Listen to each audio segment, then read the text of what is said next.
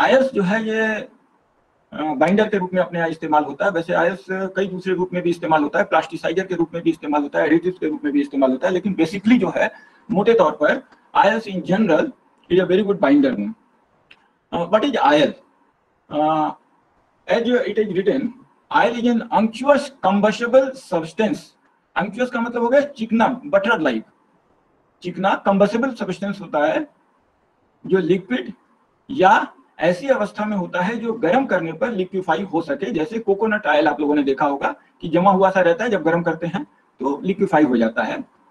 And it should not be miscible with water ये भी एक गुण होता है क्योंकि वाटर पोलर होता है आयल नॉन पोलर होता है। दोनों का एकदम अपोजिट नेचर होता है। But it is soluble in ether ether को अगर आप ध्यान करेंगे ether is highly non polar so it is soluble in the non polar सवाल ये उठता है कि आयल हम लोग क्यों पढ़ रहे हैं और आयल का इस्तेमाल क्या है? आयल, देखिए एक समय ऐसा था कि oil was the only binder or film former available in the paint industry और इन द कोटिंग इंडस्ट्री एक समय था ऐसा। लेकिन धीरे धीरे क्या हुआ कि बहुत सारी सिंथेटिक रेजिन है, उसकी अच्छी प्रॉपर्टीज़ है, जिसकी वजह से उन्होंने आयल को रिप्लेस करना चालू कर दिया। और आज के समय में काफ़ी कुछ सिंथेटिक रेजिन काफ़ी कुछ एक्रिलिक इमल्सन वगैरह टाइप के कुछ मटेरियल ऐसे हैं, जिन्होंने आयल को काफ़ी लेवल तक जो है रिप्लेस कर दिया है।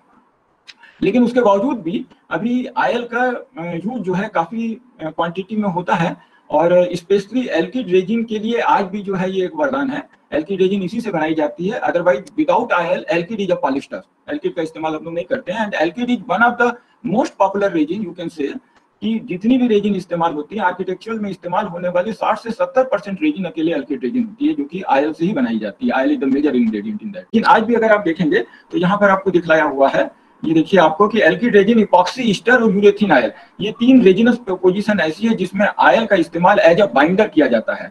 और लेकर के अंदर आयल जो है एज अ प्लास्टिसाइजर जाता है।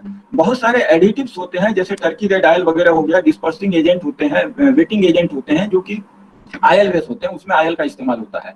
लेकिन ये आयल कौन से आयल होते हैं, इसके बारे में हम पढ़ेंगे। देखिए, यहाँ पर दिखाया हुआ है कि oils are also use as a plasticiser and additive. इसके रूप में भी आयल्स का इस्तेमाल किया जाता है। अगर आयल्स को क्लासिफाई करें, depending upon the origin origin के ऊपर अगर आयल को हम लोग क्लासीफाई करें तो आयल एनिमल आयल, अर्थात ये जो एनिमल फैट वगैरह से निकाला जाता है, जैसे फ़िश वगैरह से निकाला जाता है तो फ़िश आयल वगैरह का इस्तेमाल होता है। मिनरल आयल होते हैं, जो, मिनरल सोर्स होते हैं, जैसे पेट्रोलियम आयल वगैरह होते हैं। और वेजिटेबल आयल होते हैं, ये वेजिटेबल आयल आपके सीड से नट से फ्लावर से, इन सबों से निकाले जाते हैं। जैसे कि लिमसीड आयल हो गया कोकोनट आयल हो गया सोयाबीन आयल हो गया, इस तरीके के बहुत सारे आयल जो है। तो अपने पेंट इंडस्ट्री में जो इस्तेमाल होने वाले आयल हैं, ज़्यादातर आपको देखने को मिलेगा, ये वेजिटेबल आयल ही होते हैं मोरालेस करीब करीब हंड्रेड परसेंट आयल जो इस्तेमाल हम लोग करते हैं पेंट इंडस्ट्री में they are the vegetable oil because of the several reason अच्छा बिहेवियर ऑफ़ हीटिंग इसके नेचर पर अगर हम लोग जाए, जो कि गर्म करने पर आयल की क्या अवस्था होती है तो इसको ध्यान दीजिएगा कि दो तरीके के यहाँ पर आयल्स होते हैं। एक वोलेटाइल आयल्स होते हैं, जिसको कि हम लोग एसेंशियल आयल्स भी कहते हैं। एसेंशियल वर्ड जो है एसेंस से बना हुआ है। एसेंस का मतलब प्रेफरेंस जो सुगंध होती है, उसको हम लोग एसेंस के रूप में लेते हैं। ऑर्डर या फ्लेवर जैसे रोज आयल हो गया पेपरमेंट आयल हो गया तो ये वोलेटाइल आयल होते हैं। ये आप अगर नॉर्मल टेम्परेचर पर भी रख देते हैं तो भी उड़ने लगते हैं। अदरवाइज़ अगर गर्म करते हैं तो ये पूरा का पूरा वोलेटाइल हो जाते हैं। उड़ जाते हैं ये। और दूसरे आयल होते हैं जिनको कि हम लोग फिक्स आयल बोलते हैं। इस शब्दों को थोड़ा सा ध्यान दीजिएगा, ये आगे चल करके आपके बहुत काम आएँगे ये। जो ये नॉन वोलेटाइल होते हैं, इसको जैसे कि आप लोगों घर, घरों में हम लोग पूड़िया उड़िया तलते हैं या समोसे वगैरह जैसे बनाए जाते हैं तो वो लोग जो आयल का इस्तेमाल करते हैं, देखिए वो काफ़ी समय तक इस्तेमाल करते रहते हैं। उसके बावजूद भी हाई टेम्परेचर के ऊपर ढाई सौ, तीन सौ डिग्री सेंटीग्रेड पहुँच जाता है, उसके बावजूद भी वो उड़ते नहीं है। तो इनको हम लोग फिक्स आयल बोलते हैं। ये नॉन वोलेटाइल होते हैं। तो इस प्रकार से बिहेवियर के ऊपर आयल को इन दो कैटेगरी में डाला हुआ है volatile oil and fix oil. Surface coating में जो आयल का इस्तेमाल होता है तो यहाँ पर आप देखेंगे कि आयल जो है सरफेस कोटिंग में इस्तेमाल होने वाले में एक वेजिटेबल आयल होते हैं टू मेजर सोर्स होते हैं आयल्स के, जो सरफेस कोटिंग में जाते हैं। जो कि वेजिटेबल आयल ये हमें सीड से मिलते हैं। ये वेजिटेबल आयल होते हैं, ये सीड से मिलते हैं या नट से होते हैं या फ्रूट से होते हैं। ये ज़्यादातर हम लोग इस्तेमाल करते हैं पेंट इंडस्ट्री के अंदर। और मरीन आयल में फ़िश आयल का इस्तेमाल पहले किया जाता था, लेकिन अब इसका न के बराबर इस्तेमाल होता है।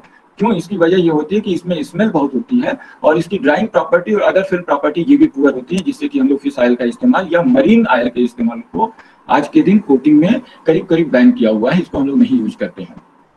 अब सवाल उठता है कि जो हमारे पास आयल है वेजिटेबल आयल जैसे हम कहते हैं तो वेजिटेबल्स आयल्स होते क्या हैं? इसको आप ध्यान से समझिएगा। Oils are triglyceride of long chain mix fatty acid देखिएगा शब्दों पर ध्यान दीजिएगा। ये ट्राइग्लिसराइड होते हैं। ट्राइग्लिसराइड आपके क्या होगा? यहाँ पर आप देखिए कि ये आपके ट्राइग्लिसराइड है। ग्लिसरीन ये ग्लिसरीन की स्ट्रक्चर है। C H two O H C H C H O H और C H two O H ये ग्लिसरीन का स्ट्रक्चर होता है, जिसको कि फैटी एसिड के साथ रिएक्शन करके ये फैटी एसिड्स है। ये लॉन्ग चेन आप देख रहे हैं, ये फैटी एसिड्स हैं। ये करीब करीब वैसे तो फैटी एसिड्स हमारे सी एट से चालू हो जाते हैं और सी ट्वेंटी टू तक जाते हैं।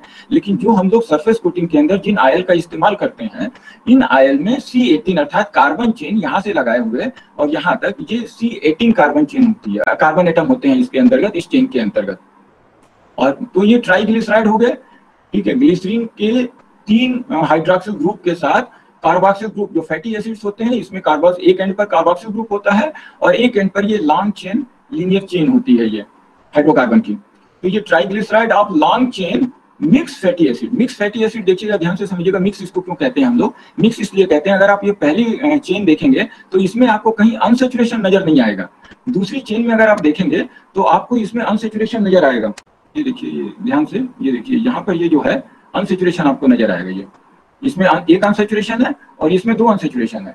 इसलिए इसको मिक्स फैटी एसिड्स कहते हैं। मल्टी भी हो सकते हैं, तीन भी हो सकते हैं। तो इस प्रकार ये जो अनसेचुरेशन होता है, ये हमारे लिए बहुत यूजफुल होता है। ये आगे चलकर हम आपको बताते हैं कि अनसेचुरेशन को क्यों हम लेना पसंद करते हैं। तो ये मिक्स फैटी एसिड्स का जो ट्राइग्लिसराइड होता है that is called oil so the definition of oil is very clear oils are triglycerides of long chain mix fatty acids the composition of crude vegetable oil crude vegetable oil जो आपका निकाला जाता है suppose करिए कि सरसों के तेल को आप निकालते हैं, जिस समय सरसों की पिराई के बाद से तेल निकलता है that is crude vegetable oil उस क्रूड वेजिटेबल ऑयल में जो हमारे दो पोर्शन होते हैं, एक तो ये ग्लिसराइड का पोर्शन होता है, ये आप देख रहे हैं, एक ये ग्लिसराइड का पोर्शन होता है, और एक ये नॉन ग्लिसराइड पोर्शन होता है। ठीक है तो ग्लिसराइड का तो ये पोर्शन हो गया जो यहाँ पर हम बता रहे हैं आपको ट्राईग्लिसराइड ये आपका ग्लिसराइड का पोर्शन हो गया। और नॉन ग्लिसराइड के अंदर आगे हम आपको चल के बताते हैं कि ये कौन से मटेरियल होते हैं। The percentage of non glyceride is आमतौर पर चार पाँच परसेंट के आसपास होता है, बाकी का ninety five ninety six percent glyceride का ही पोर्शन होता है। लेकिन ये नॉन ग्लिसराइड जो होता है, ये आयल को देखने में थोड़ा सा डार्क कलर दे देता है, थोड़ा सा हैजीनेस देता है, इसी की हम लोग डिफाइनिंग करते हैं। तो जो रिफाइंड लिंसीड ऑयल आप देखते हैं या रिफाइंड सरसों का तेल आप देखते हैं तो देखिएगा कि उसका कलर थोड़ा सा ज़्यादा साफ़ हो जाता है, इतना पीला नहीं रहता है, उसमें स्मेल थोड़ी सी कम हो जाती है, या कह लिए उसमें हेजीनेस कम हो जाती है और उसमें क्लैरिटी बढ़ जाती है, ये इसी वजह से होता है कि हम लोग उसकी रिफाइनिंग कर देते हैं। लेकिन ये जो नॉन ग्लेसाइड पोर्सन होता है, ये हमारे हेल्थ के लिए कभी कभी बहुत ज़रूरी हो जाता है। तो पेंट इंडस्ट्री में जब ऑयल को लेते हैं तो कोशिश यही करते हैं कि नॉन ग्लिसराइड का पोर्सन उसमें से हटा दिया जाए, क्योंकि ये नॉन ग्लिसराइड पेंट की दूसरी प्रॉपर्टी को नुकसान पहुंचाता है। तो इस प्रकार, अगर आप देखें तो ये oil is the triglyceride of free fatty acids structure of saturated saturated structure अभी हमने आपको ऊपर भी बताया था, ये इसमें कोई भी अनसेचुरेशन नहीं है, ये फैटी एसिड्स आपकी हो गई। उसके अंदर आप लोगों ने कार्बोक्सिल ग्रुप नहीं देखा था, देखिए ये कार्बोक्सिल ग्रुप होता है, यही ग्लिसरीन के अंदर हाइड्रोक्सिल ग्रुप के साथ रिएक्शन करता है। तो इस प्रकार से एस्टर लिंक बनाता है ये। तो ये एक स्ट्रक्चर हो गया, ये सेचुरेटेड का स्ट्रक्चर हो गया, इसके, जिसको कि स्टेरिक एसिड है। यहाँ कार्बन 18 है। हमने आपको ये बताया था, ये भी ध्यान रखिएगा, जितने भी वेजिटेबल ऑयल होते हैं, आमतौर पर उसमें 18 कार्बन एटम के फिफ्टी फैटी एसिड्स रहते हैं। और इसमें अनसेचुरेशन जो है, आपका ज़ीरो है। इसमें आप देखिए, इसमें एक अनसेचुरेशन है, ये आपका। ठीक है? इसको मोनो अनसेचुरेटेड हम लोग आयल कहते हैं। और ये है ओलिक एसिड इसको कहते हैं। इसमें एक आपका अनसेचुरेशन हो गया और कार्बन आपके अठारह हो गया। और ये आपका पॉली अनसेचुरेशन इसको कहते हैं, जिसमें कि दो अनसेचुरेशन यहाँ पर गए दो भी हो सकते हैं, तीन भी हो सकते हैं तो इसमें डाई अनसेचुरेशन भी कह सकते हैं ट्राई अनसेचुरेशन भी कह सकते हैं, लेकिन एक वर्ड दिया हुआ है कि they are called poly unsaturated fatty acid तो ये हमारे फैटी एसिड्स होते हैं, जो ग्लिसरीन के ऊपर रिएक्शन करने के बाद से ये उसके अंदर वो बनाते हैं आपके ट्राइग्लिसराइड बनाते हैं। ये देखिए, यहाँ पर दिखलाया हुआ ट्राइग्लिसराइड कैसे बनता है? दिस इज़ योर ग्लिसरीन ये ग्लिसरीन हो गया and this is your fatty acid mono basic fatty acid ये भी ध्यान रखिएगा। हम लोग मोनो बेसिक ही लेते हैं, अर्थात केवल एक कार्बोक्सिल ग्रुप वाले फैटी एसिड ही लेते हैं इसमें। दो या दो से ज़्यादा वाले नहीं लेते हैं। तो इसलिए इसको मोनो बेसिक फैटी एसिड्स भी कहते हैं। और यहाँ पर एक आर जो है, एक ही लिया हुआ है, एक ही तरीके का आर दिखलाया हुआ है, लेकिन ऐसा होता नहीं है आमतौर पर। करीब करीब जितने आयल होते हैं, सब में जो है, ये फैटी एसिड्स अलग अलग तरीके के हो सकते हैं। कार्बन एटीन रहेगा, लेकिन किसी में अनसेचुरेशन ज़्यादा रहेगा, किसी में अनसेचुरेशन कम रहेगा। जैसे जैसे अनसिचुएशन बढ़ता चला जाता है, वो आयल जो है उसके अंदर ड्राइंग की टेंडेंसी बढ़ती चली जाती है। वो हवा में रखने पर भी आपका बहत्तर घंटे या एक सौ दो घंटे के अंदर सूख जाएँगे। लेकिन देखिएगा, जो घरों में हम लोग आयल इस्तेमाल करते हैं, ये कढ़ाई के अंदर गर्म करने के बावजूद भी अगर महीनों पड़े रहे तो ये नहीं सूखते हैं, क्योंकि उसमें अनसेचुरेशन की क्वान्टिटी न के बराबर होती है, सारे सेचुरेटेड फैटी एसिड्स रहते हैं। तो ये मिक्स फैटी एसिड्स रहते हैं, इसको हमने आर वन से R one R two R three अलग अलग लेकर के दिखलाया हुआ है, क्योंकि ये फैटी एसिड्स अलग होते हैं। किसी भी आयल में तीनों फैटी एसिड्स एक तरीके के नहीं होंगे। यहाँ पर देखिए, आयल का स्ट्रक्चर दिखलाया हुआ नीचे आप देखिएगा। आयल के स्ट्रक्चर को आप ऐसे समझिएगा, जैसे कि ये इसमें ये वन को अगर आप प्लेन पे लेते हैं, ये आपका वन है, इसको अगर आप प्लेन पे लेते हैं तो वन इसको आप प्लेन सरफेस में मान लीजिए। अवे फ्रॉम आप से दूरी, अर्थात प्लेन से नीचे जाते हुए आप देखिएगा और तीन को जो है प्लेन से ऊपर आते हुए देखिएगा। तो आयल का स्ट्रक्चर आप इसको कह सकते हैं। आयल का स्ट्रक्चर और ये जो स्ट्रेट लाइन दिखलाई होती है, ये स्ट्रेट लाइन नहीं होता। आयल जिगजेक शेप में इस तरीके से आपको जिगजेक शेप में आपको मिलेगा आयल इस तरीके से। लेकिन चूँकि ये लंबी चेन होती है, एक प्लेन के ऊपर तीनों के अंदर थोड़ा सा अट्रैक्शन नहीं होगा, तीनों के अंदर रिपल्सन होने की वजह से चेनें जो है वो भागती रहती है एक दूसरे से। तो इस प्रकार एक चेन जो है प्लेन पर, मान लीजिए, एक चेन नीचे और एक चेन ऊपर। तो इस प्रकार ये थ्री डायमेंशनल स्ट्रक्चर की तरीके से आयल का ये स्ट्रक्चर नज़र आता है। देखिए, ये ग्लिसरीन दिखलाया हुआ यहाँ पर। तीन फैटी एसिड दिखलाया हुआ तीनों को देखिए, यहाँ पर ये अलग अलग है। ये तीन तरीके के अलग अलग फैटी एसिड्स हैं और इस प्रकार this is the structure of your triglyceride fatty acids ये आपका ट्राइग्लिसराइड हो गया, ये दिस इज़ द आयल, यही आपका आयल होता है। ये देखिए, ये स्ट्रक्चर है बेसिक स्ट्रक्चर जो है, आयल का इस तरीके से होता है। यहाँ पर अगर आप देखेंगे तो this is the portion of unsaturation ये डबल बॉन्ड यहाँ पर आप देख रहे हैं, ये अनसेचुरेशन पोर्सन होता है। तो ये ये जो है आपका ग्लिसरीन का पोर्सन हो गया। ये जो तीन आप देख रहे हैं, ये तीन कार्बन ये ग्लिसरीन का पोर्सन हो गया। ये आपका ऑक्सीजन हो गया। ये आपका कार्बन है कार्बन के साथ एक ऑक्सीजन लगा हुआ है, ये स्टर लिंकेज आपका बन गया यहाँ पर।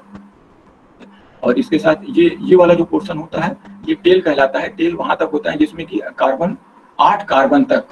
आप इसे ऊपर देखिएगा इसमें। अगर यहाँ पर आप देखें तो इसके अंतर्गत आप इस साइड से गिनना चालू करिए। तो इस साइड से एक, दो, तीन, चार, पाँच, छह, सात, आठ, यहाँ तक ये सब में जो है कांस्टेंट होता है। यहाँ पर भी आठ मिलेगा। आठ के बाद से पहले रिंग आएगी, नौ पर। नौवे पर पहले रिंग आएगी। तो यहीं पर यहाँ पर दिखलाया हुआ है कि ये जो होता है, ये टेल जो होती है आठ कार्बन का होता है। और ये F functional middle and very ये फंक्शनल मिडिल पोर्शन है इसका। ये ये वेरी कर सकता है। ये आपका किसी में एक अनसेचुरेशन होगा, किसी में दो अनसेचुरेशन होगा, किसी में तीन होगा और किसी में बिल्कुल अनसेचुरेशन नहीं होगा। और ये वाला हेड वाला पोर्शन होता है। ये शार्टर या लॉन्गर आपका कुछ भी हो सकता है, जो बाद में सी एच थ्री वाला ये पोर्शन होता है। इस प्रकार ये आयल का आपका एक पूरा जो है स्ट्रक्चर हो जाता है। ये आपके फैटी एसिड्स यहाँ पर दिखलाए हुए हैं कि आयल में कौन कौन से फैटी एसिड्स होते हैं। तो ऊपर वाले पोर्शन को अगर आप इसको ध्यान से देखें, ये वाला जो पोर्शन है आपका, ये आपका सब सेचुरेटेड फैटी एसिड्स है, ये सेचुरेटेड है।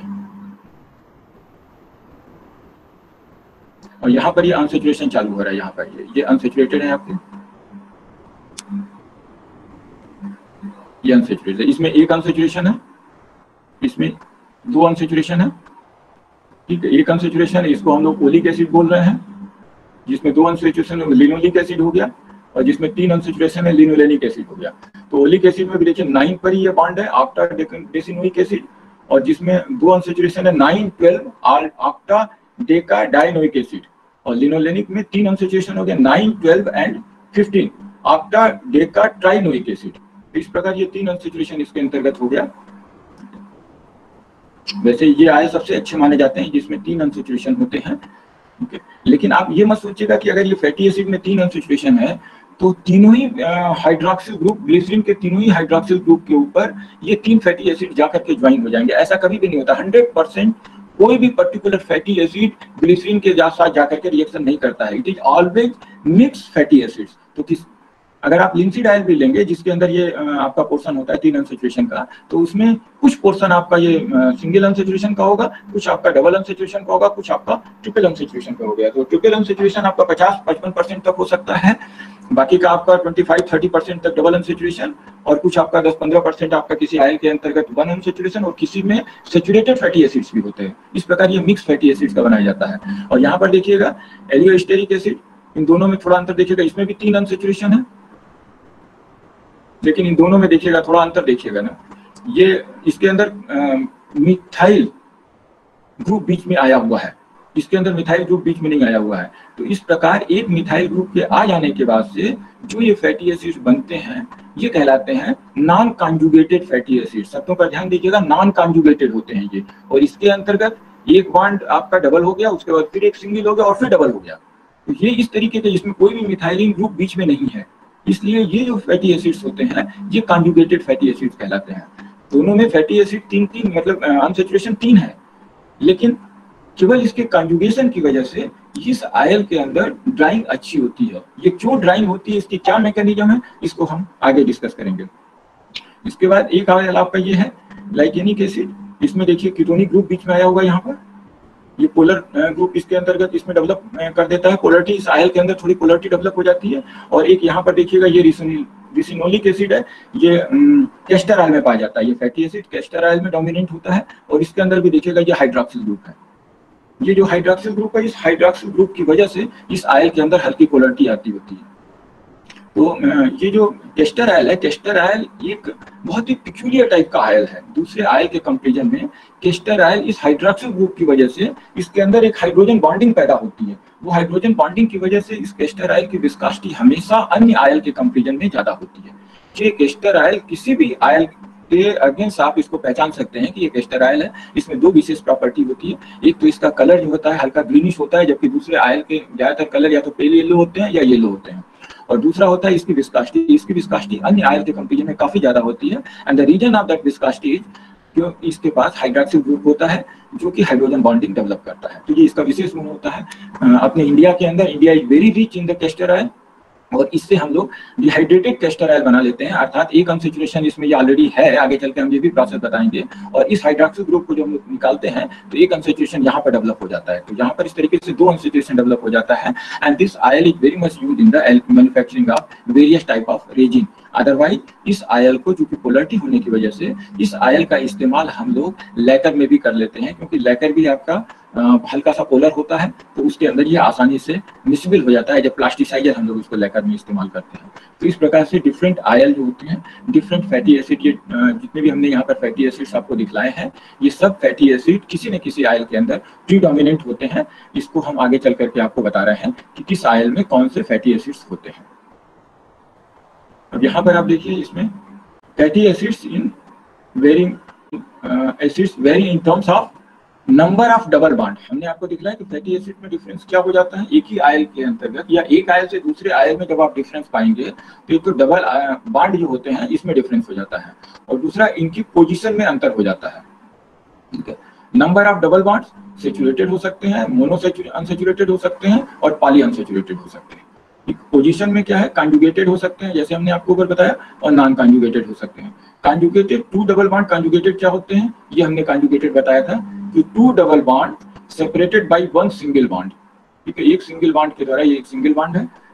ये जो है, दो डबल बॉन्ड को सेपरेट करता है, ये दो डबल बॉन्ड हो गया और नॉन कॉन्जुगेटेड में क्या हो गया? Double bond isolated by methylene group ये आपका मिथाइलिन ग्रुप हो गया। ये दो डबल बॉन्ड है, ये आइसोलेट हो जाते हैं। किसके द्वारा? इस मिथाइलिन ग्रुप के द्वारा। तो इस प्रकार से ये फैटी एसिड इसमें ऐसे वेरी करती है किसी भी आयल के अंतर्गत। दूसरा होता है सिस ट्रांस ओरिएंटेशन देखिएगा आप लोगों ने शायद पढ़ा भी होगा सिस ट्रांस ओरिएंटेशन क्या होता है? ये देखिए, ये ट्रांस पोजिशन बन जाती है। इसके अंदर ये हाइड्रोजन है, ये कार्बन है, यहाँ पर हाइड्रोजन इस साइड में डायरेक्शन में है और यहाँ पर ये हाइड्रोजन इस डायरेक्शन में है। तो दिस इज़ कॉल्ड ट्रांस तो आमतौर पर ये ट्रांस जो पोजीशन होती है this is more stable position of fatty acids और नीचे जो आपका दिखाया हुआ है दिस इज़ सिस पोजीशन आपका यहाँ पर सिस पोजीशन दिखलाया हुआ है। इसको आप देखेंगे। ये सिस पोजीशन है इसकी इसमें दोनों हाइड्रोजन जो है, एक ही साइड में होते हैं। ये स्टेबल नहीं होते हैं। ये अनस्टेबल होते हैं और ये आपके स्टेबल होते हैं। प्रेजेंस ऑफ़ पोलर ग्रुप ये भी एक हमने आपको उसमें दिखलाया था। रिसिनोलिक एसिड के अंतर्गत। प्रेजेंस ऑफ़ पोलर ग्रुप उसमें हाइड्रोक्सिल ग्रुप प्रेजेंट रहता है। ये भी फैटी एसिड को रिफर करता है। And this is the carboxyl group this react with the glycerine this is the fatty acid ricinoleic acid this is obtain in the castor in the bulk quantity ठीक है? तो ये reaction के बाद से यहाँ पर दिखलाया हुआ है कि इसमें एक डबल बॉन्ड आपका ये हो गया। यहाँ से हाइड्रोक्सिल ग्रुप वाटर मालिक्यूल निकलता है। सल्फ्यूरिक एसिड के प्रेजेंस में इसको जब गर्म करते हैं तो सल्फ्यूरिक एसिड इसके वाटर मालिक्यूल को यहाँ से निकाल देता है। यहाँ से हाइड्रोजन निकलता है तो इस प्रकार एक अनसेचुरेशन आपका ये बन जाता है। तो कैरेक्टरिस्टिक ऑफ़ फैटी एसिड्स में क्या है? Saturated fatty acid no drying कोई ड्राइंग आपको नहीं देगा। तो इसका इस्तेमाल हम लोग कहाँ करते हैं? इस आयल का इस्तेमाल, ऐसे आयल का इस्तेमाल हम लोग प्लास्टिसाइजर के रूप में ज़्यादातर करते हैं। वन डबल बॉन्ड भी आपका ड्राइंग नहीं देता है। ये भी आपका प्लास्टिसाइजर में चला जाता है। तो unsaturated and one double bond they behave almost similarly तो इसका हम लोग प्लास्टिसाइजर में ज़्यादा इस्तेमाल करते हैं या कोई एडिटिव मैन्युफैक्चरिंग में कर लेते हैं। जिसमें दो डबल बॉन्ड होते हैं, इस दो डबल बॉन्ड वाले को हम लोग इस्तेमाल करते हैं या तो बेकिंग टाइप की कोटिंग में एयर टाइम में इसका इस्तेमाल नहीं होता या बेकिंग टाइप की कोटिंग को हम लोग स्टोविंग कोटिंग भी बोलते हैं। और three double bond three double bond जो होते हैं, ये हमारे एयर ड्राइंग की कोटिंग में इसका इस्तेमाल करते हैं। और ये बेकिंग में भी चले जाते हैं। बेकिंग को ही हम लोग स्टोविंग कहते हैं। तो ये बेकिंग में भी जा सकते हैं एयर ड्राइंग में भी जा सकते हैं। Position of unsaturation with same degree of unsaturation जैसे हमने आपको उसमें दिखलाया था ऊपर, आपने देखा होगा लिंसिड आयल का और इलियोस्टेरिक एसिड का हमने दिखलाया था। इसके अंदर क्या था? सेम डिग्री अपन से तीनों में तीन अनसेचुएशन था, लेकिन जिसमें कंजुगेटेड था the drying of that oil which contains fatty acid having the conjugated disposition they will drive faster compare to the oil which are having the non conjugated linkage ये एक uh, आयल के fatty acid की जो property होती है, और ये fatty acid oil to oil differ करते हैं। जैसे टूंग आयल हो गया डिस्टर आयल हो गया लिंसीड आयल हो गया, इन सबों का इस्तेमाल प्रिंट इंडस्ट्री में ज़्यादा होता है। Soybean oil safflower oil sunflower oil इन सबों का इस्तेमाल बेकिंग फिनिश के अंदर हम लोग ज़्यादातर करते हैं। और आज भी ये आयल काफ़ी अच्छी खासी क्वांटिटी में इस्तेमाल होते हैं। अब यहाँ पर आप देखिए नॉन ग्लिसराइड अब ऊपर वाला जो पोर्सन हम लोगों ने डिस्कस किया that was the glyceride portion जिसमें कि ट्राइग्लिसराइड आपके फैटी एसिड्स के होते हैं ग्लिसरीन के साथ, और ये नॉन ग्लिसराइड पोर्सन है। नॉन ग्लिसराइड पोर्सन में आपका क्या क्या होता है? देखिए गम्स हो गया वैक्सेज हो गया फॉस्फेटाइस हो गया स्टेरॉल्स हो गया है। ये आमतौर पर आयल में चार पाँच परसेंट होते हैं, बहुत कम ऐसे आयल होते हैं जिसमें आठ से दस परसेंट चले जाते हैं, बाकी के नाइन्टी फाइव से लगाए नाइन्टी परसेंट तक आयल जो होते हैं, वो हमारे ट्राइग्लिसराइड ही होते हैं। फैटी अल्कोहल होते हैं कलरिंग मैटर होते हैं, जो कलर आपको दिखलाते हैं, जैसे कि सरसों का तेल आप डायरेक्ट अगर क्रूड आप देखें तो उसमें उसका कलर काफ़ी डार्क होता है येलो कलर में, और जबकि वही रिफाइनिंग के बाद से काफ़ी लाइट हो जाता है। इसमें फ्री फैटी एसिड्स भी होते हैं। जो फैटी एसिड्स हमने ऊपर डिस्कस किया था that are in the combined form with the and form the ester linkage और लेकिन आयल के अंदर कुछ फ्री फैटी एसिड्स भी होते हैं, ये फ्री फैटी एसिड्स ही आयल में एसिडिटी डेवलप करते हैं।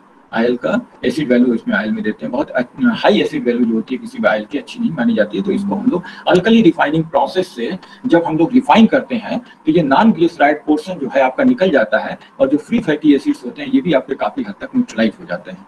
तो इस प्रकार से आयल के अंदर नॉन ग्लिसराइड पोर्सन को हटाना बहुत ज़रूरी है if you are using that in the surface coating otherwise all the things will hinder the film property. You will never get the proper film property. जैसे वैक्स है gums है, ये क्या करेंगे? ये उसकी चमक को खत्म कर देंगे, ये सब मटेरियल कलर है, अगर डार्क कलर हो गया किसी आयल का तो आप उसको लाइट कलर के पेंट में इस्तेमाल नहीं कर पाएँगे. जैसे व्हाइट पेंट आपको बनाना है और किसी आयल का कलर डार्क है तो कभी भी इस आयल का इस्तेमाल रेजिन या बाइंडर के रूप में हम लोग व्हाइट पेंट में नहीं कर पाएँगे.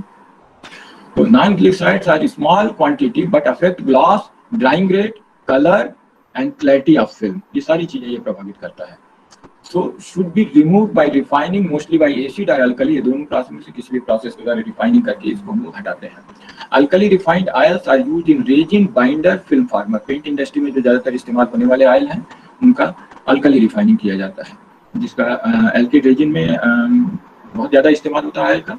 इपॉक्सी ईस्टर इपॉक्सी कई रूप में आते हैं। इपॉक्सी ईस्टर का इस्तेमाल भी किया जाता है पेंट और यूरेथिन आयल का इस्तेमाल किया जाता है। इसमें भी आयल का इस्तेमाल किया जाता है। Edible oil is also normally alkali refined edible oil वो आयल हो गए जो हम लोग खाने पीने के रूप में इस्तेमाल करते हैं और इसके अंदर आमतौर पर अल्कली रिफाइंड एडबिल आयल जो होते हैं, वही हम लोग खाने पीने में लेते हैं। वैसे रिफाइंड आयल को बहुत अच्छा नहीं माना जाता है। Acid defined has high acid value, so rarely used in binder, as it can make the film water sensitive film को वाटर सेंसिटिव बना देते हैं, क्योंकि तो एसिडिटी बढ़ जाती है एसिड वैल्यू बढ़ जाएगी पोलरिटी बढ़ जाती है, जब पोलरिटी बढ़ जाती है तो ह्यूमिड सीज़न में रेनी सीज़न में पानी को वो अपने अंदर एडजॉर्ब करने की कोशिश करता है पेंट और इस प्रकार से वो पेंट की फ़िल्म खराब हो जाती है। तो आज हम यहाँ पर इसको खत्म करते हैं। यहाँ पर दो आयल के मध्य विस्कास्टी का डिफरेंस दिखलाया गया है। एक लिंसीडाइल है, जिसमें लिनोलेनिक एसिड होता है। इसके फैटी एसिड में सिवाय कार्बोक्सिल ग्रुप के कोई अन्य पोलर ग्रुप नहीं होता है। और दूसरा आयल है कैस्टेराइल जिसमें रिसिनोलिक एसिड होता है। इस रिसिनोलिक एसिड के अंदर कार्बोक्सिल ग्रुप के अलावा एक हाइड्रोक्सिल ग्रुप होता है। उस हाइड्रोक्सिल ग्रुप की वजह से इसके अंदर एक पोलरिटी डेवलप होती है और ये हाइड्रोजन बॉन्डिंग डेवलप करता है, जिसकी वजह से इसकी विस्कास्टी आप देखेंगे कि लिंसीडाइल के कंपेरिजन में बहुत ज़्यादा होती है।